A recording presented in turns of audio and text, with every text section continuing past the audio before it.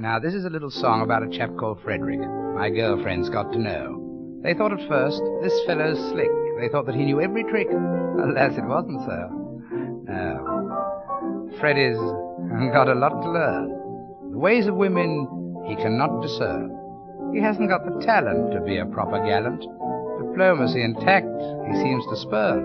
When he takes a lady to her home, he'll tremble on the brink of the lady's doorstep, and he'll give a knowing wink. Yet if he goes up to have a drink, he'll simply have a drink.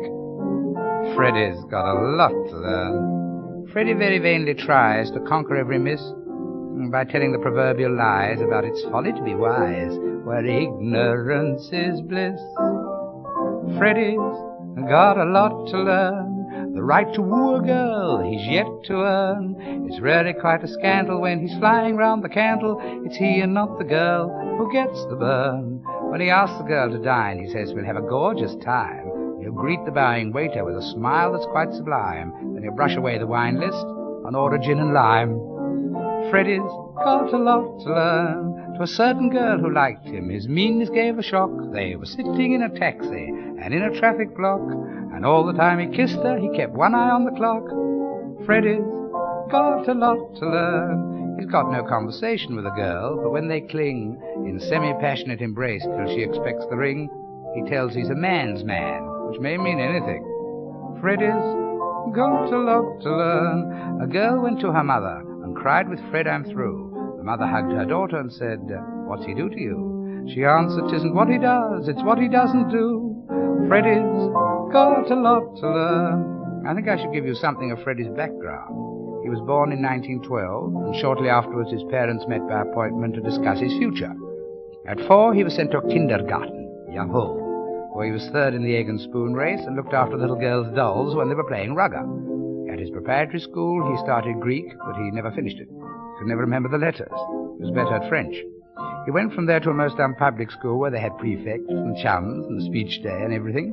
He and the geometry master got sacked at the same time, and he drifted to London. Incidentally, the geometry master, who always hatted at an absurd angle, got a job at the BBC.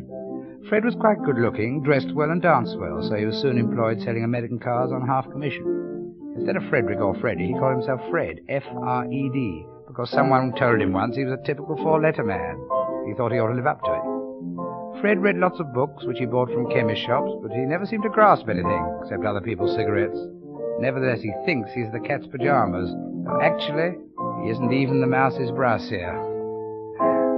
Freddy's got a lot to learn. One day he'll find a female, worm will turn. It's really rather dismal that his ignorance is abysmal. He's deserving of a strike upon the stern. He finally got married to someone mild and meek, but it's really most distressing to hear the cradle creak. They have a baby once a year on seven pounds a week. Freddy's got a lot to learn. He's so innocent, in fact, that he thinks pornography is a book on chess.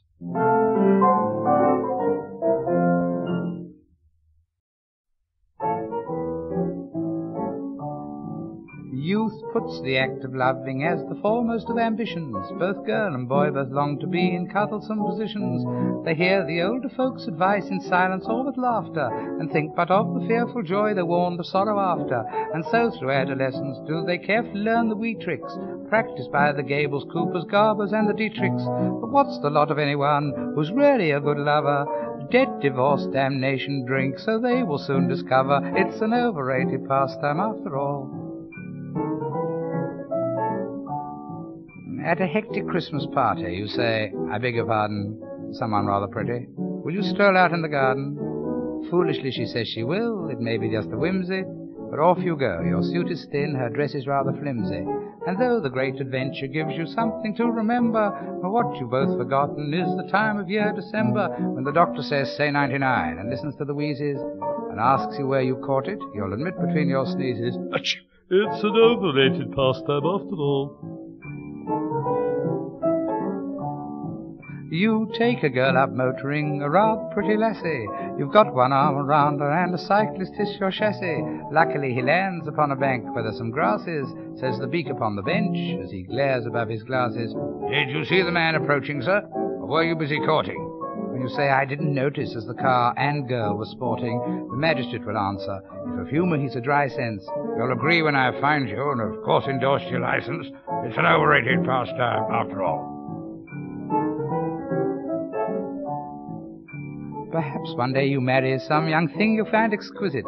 Marriage isn't half as bad as people paint it, sir, or is it? For you'll find, although you're rob it, all stories have their morals, and the nicest part of married life is making up the quarrels. And then, a little later, a year or two it may be, you're going to be a parent to a male or female baby. But whether you're a soppy bloke or whether you're a cynic, you still will mutter as you pace the nursing home or clinic. It's an overrated pastime after all. You meet some girl in Aberdeen, the party's alcoholic. You won't see her again, you're sure, and so with love you frolic. Then someone asks her up to town to stay with them, quite gratis. They take her to a party, and of course you know what fate is. She goes and meets your wife, and perhaps mistakes her for your mother, and tells her what you've been to her, well, much more than a brother.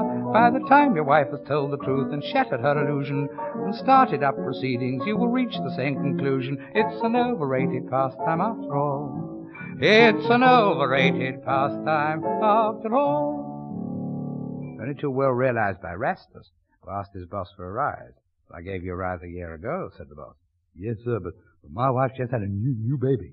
Oh, Rastus, said the boss, you said if your wife had another baby, you'd kill yourself. Yeah, yeah, I did that, said Rastus. Uh, I took a rope into the stable, I tied it round a beam, I put a noose around my neck, I stood on a chair, I was just going to jump when I says to myself, I says, Rastus, you mustn't do it you may be hanging the wrong man.